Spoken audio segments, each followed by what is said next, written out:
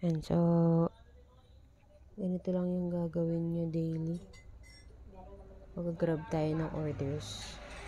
So, nakikita nyo dito sa baba, may nakalagay, grab, grabbing orders. Pipindutin nyo lang yan. Then, yan yung makikita ninyo. So, dito sa grab the odd number, nakalagay, zero single. Ang ang daily spin ay 60. So, pag na-reach nyo na yon di na kayo makakapag-grab ng orders. So, ganito lang siya. Pindutin nyo lang yung automatic order. Then, magagrabbing siya. Then, yan. Makikita nyo to lalabas to. Submit now. Pag hindi nyo siya na-submit, hindi kayo makakapag-proceed sa pangalawang grabbing ninyo ng orders. Pag nangyari yung ganun, makikita nyo siya dito sa record. Punta kayo sa record, sa katabi ng grabbing orders. Then, makikita nyo dito kung successful or pending. Pwede nyo rin puntahan yung pending. May complete, completed, and then freezing.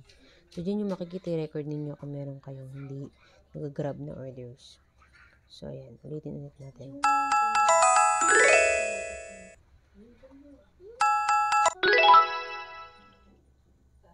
Ayan, submit now.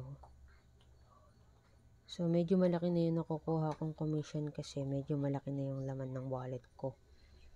Katulad nga ng sabi ko, mas malaki laman ng wallet, mas malaki yung nakukuha yung commission daily. So, sa, day, sa pangalawang single spin ko, meron na akong 3.6 pesos. Okay, sa ganyan. Isa pa.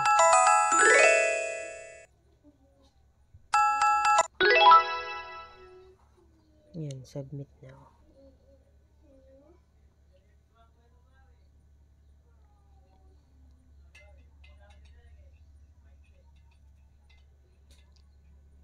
And then, X. Ganyan lang guys. Grab lang ng grab. Makikita nyo dito sa grab add number. Pag 60 single na yung nagagawa ninyo.